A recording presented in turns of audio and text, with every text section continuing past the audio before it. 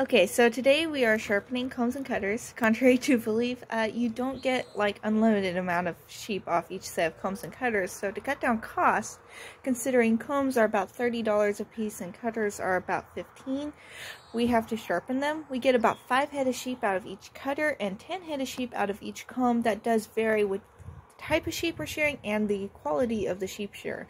So I'm going to show you what we do to get those set up for sharpening. Okay, so I've already gotten all my combs and cutters out, so I'm going to go into Dad's box and collect some of his combs and cutters. I've already gotten a few of them out. I do have to take apart this hand piece here. We're going to take off the comb and cutter off this, and we're going to sharpen that brand new box of combs and cutters has a different grind than the ones that we've ground ourselves.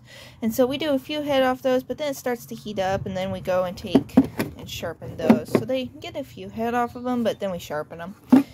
So I'm going to take this apart. We got all the rest of them here. We might find some more. We'll see how it goes. Okay, so we're going to take apart our handpiece here. We got this really neat little wrench here. It's got this side for taking apart these screws and this side takes apart this screw right here. So what we're going to do is we're going to open up this piece here and loosen that. It's going to loosen the ferrule rod which tightens the comb and the cutter together. It takes the cutter and pushes it down against the comb. And this just slides off and this off with it. And now we got one handpiece that's all ready to go for the next set of combs and cutters. Okay, so we put all the combs and cutters in this little bucket with holes in the bottom because I don't like reaching through all the water and finding the combs and cutters when I put them in. So I put them in there and leave it to soak. So I'm going to take all my combs and cutters that I have here in this bag and I'm going to put them in there so that way they can soak and be ready to wash.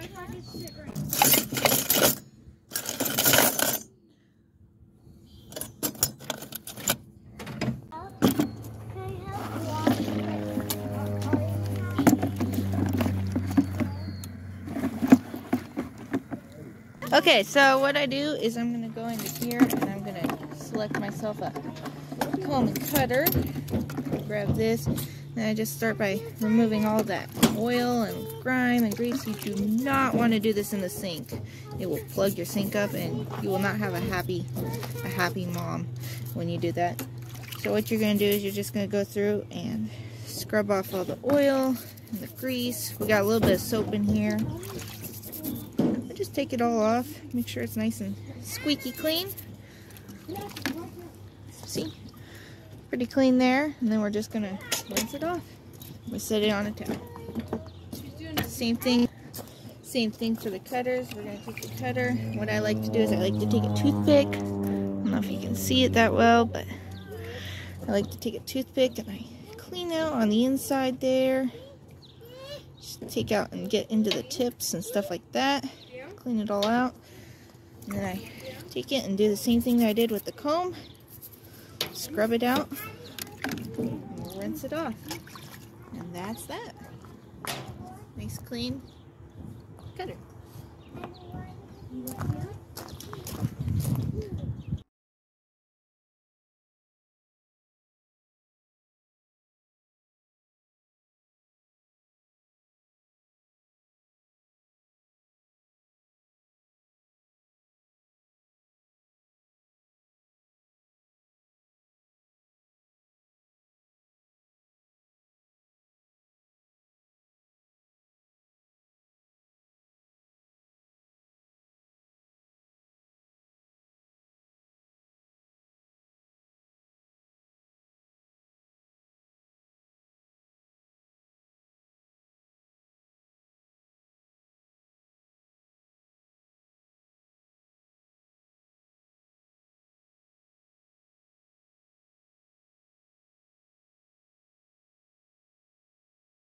Okay, all done. Got Dad's combs and cutters, my combs, my cutters.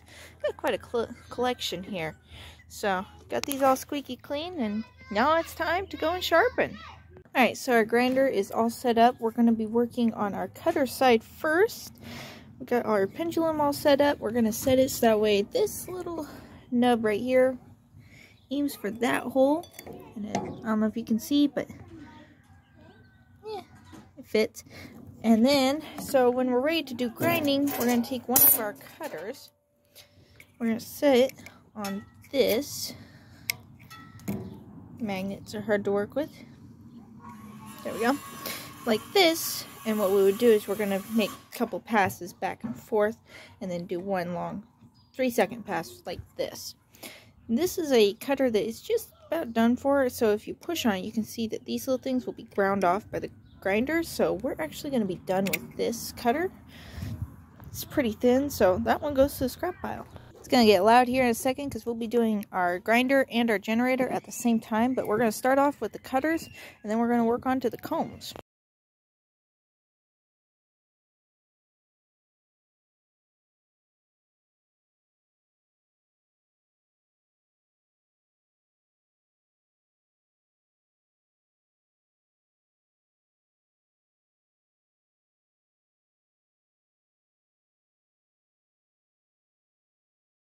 Alright, so the cutters are all sharpened up. They're nice and sharp, and so we're going to stick them back on with the other ring of sharpened cutters.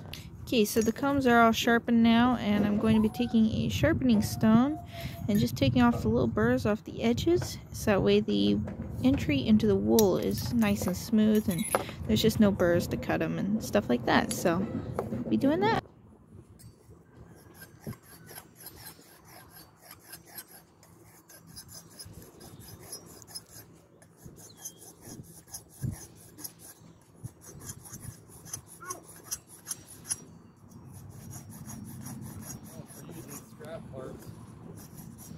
Very, very surprised.